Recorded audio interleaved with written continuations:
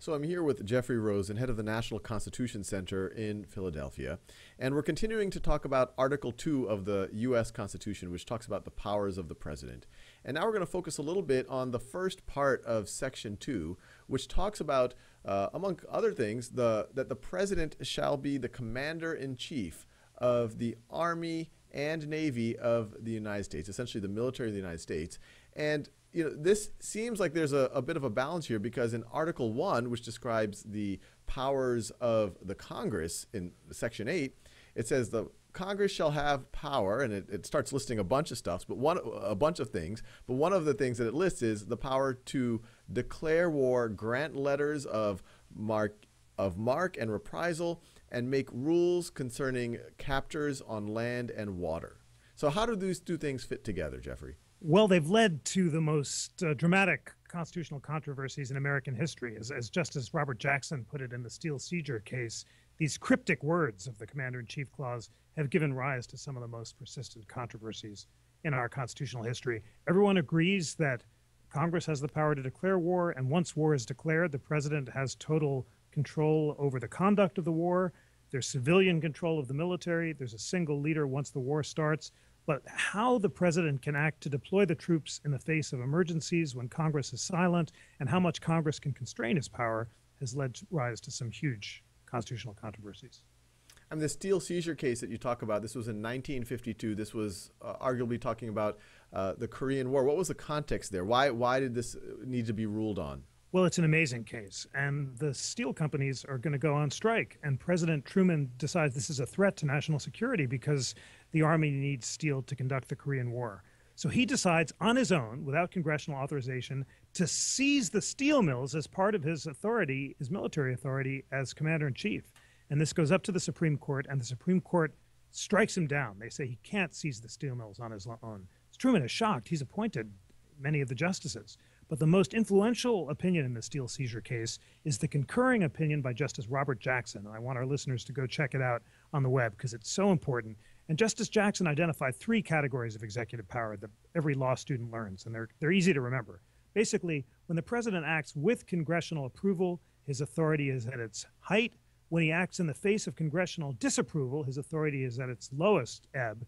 And when Congress has neither approved or disapproved, the president acts in a zone of twilight, as Justice Jackson said. It sounds like the Twilight Zone, and I always think of that music, do do do do do do do. But it means that in the steel seizure case, although the, uh, Congress had not um, authorized the seizure, and the president had no civilian authority to seize the steel mill, so he had no independent authority to rely on in the zone of twilight, and therefore the, the court held he acted unconstitutionally. And Truman's argument might have been, hey, look, the Constitution makes me the commander in chief. Uh, if I read that broadly, I should be able to do whatever I need to execute in times of war. Steel is a very important input into making uh, the things that you need to execute your war with. And so if they're going to go on strike, that's going to keep me from uh, being able to uh, conduct our war. That's exactly right. That's just what he argued.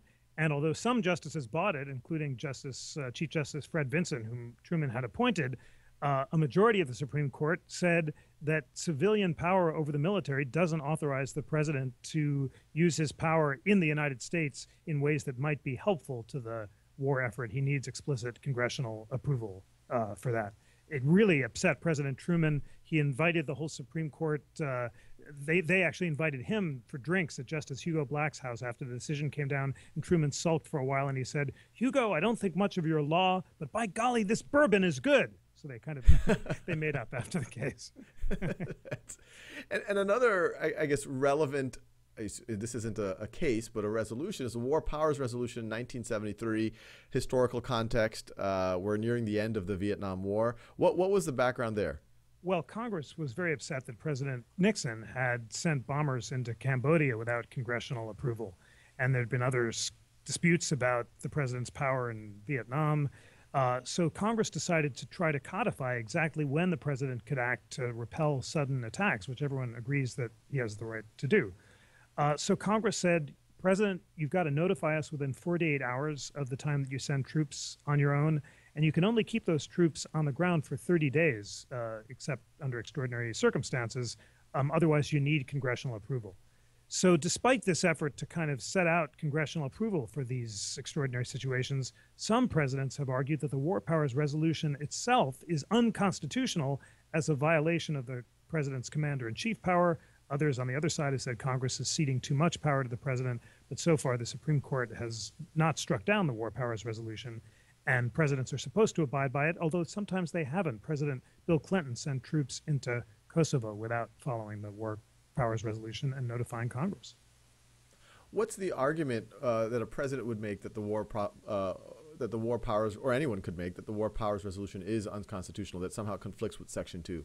The argument is that the president's unitary authority under Article Two gives him complete power uh, as commander in chief to conduct military operations as he thinks best, and that includes the ability to send troops into the field uh, despite the explicit provision in Article 1, Section 8 of the Constitution that says that Congress has the power to declare war. So the unitary executive uh, people and, and President George W. Bush's administration uh, claim this explicitly, say that the president basically can do whatever he thinks is necessary to preserve national security. That led, um, after the terrorist attacks of, of 9 11, um, other presidents, including um, President Obama said that because of the commander in chief clause, various attempts by Congress to limit the president's unitary authority were unconstitutional.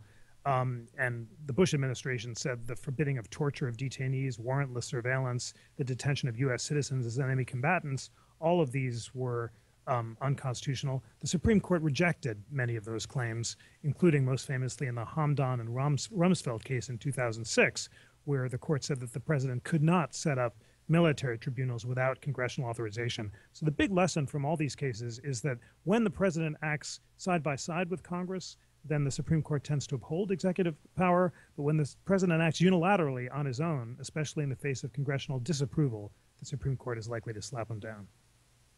But across all of this, there is a, even though these cases, especially the ones we cite, seem to limit presidential uh, authority to some degree, there's this general notion, even our, our founding fathers thought of, which is yes, you the Congress has the power to declare war, but uh, as the commander in chief, what if we're suddenly attacked by someone? Obviously, you don't want to go through the process of getting all the congressmen together and to vote. You need to be able to act quickly. So it has always been understood that uh, as commander in chief, the president could uh, engage in, in conflict quite quickly. No question about it. And presidents uh, have done so from the beginning. The response to 9 11 is a famous example as well. But uh, many of the framers thought that Congress's approval was necessary for serious wars. The War of 1812, there was a former declaration, but there were lesser uses of force, like the war with France in 1798, conflict with the Barbary states in Tripoli and Algeria, conflict with Native American tribes. All of these are approved by Congress although without formal declarations. In the modern era, though, things have really changed, and presidents have used military force without express consent from Congress on lots of occasions. The Korean War, Libya, Grenada, Lebanon, Panama, Noriega. Um, all of these uh, are cases where uh, the president has used his uh, force without congressional authorization, and we haven't had a formal declaration of war since World War II. I mean, that statement I think is worth writing down. That's why I'm. okay, let's write it down. since since World War II, I mean, when I when you say that, um, to me, it's like, well, what's it, it, kind of feels like, well, we've clearly had what you and I would consider wars since World War II: Korea, Vietnam War. Obviously, uh, post 9/11, what happened in Afghanistan? We have the Iraq War. Actually, we have both the Iraq wars. Um, and you've had all sorts of military action about you know whether we're talking about drone strikes or uh, kind of kind of very uh, surgical interventions, and all of those were done without a, a, a, formal declaration of war by Congress. So, to what degree does this even matter anymore? It seems like in modern times, um, presidents are able to do what they, they need to do militarily. Well, that seems right. Now, that's not to say Congress hasn't acted. Many of the wars we've talked about have had informal statutory authorization, including most famously recently the authorization of the use of military force after 9 11, which was said to authorize a lot of what happened after 9 11. And it's now contested whether that continues to authorize the war not against Al Qaeda, which it was originally passed for, but also against ISIS. But it certainly seems to be the case that formal declarations of war have now been replaced with these more informal uh, authorizations or even with presidential unilateral action.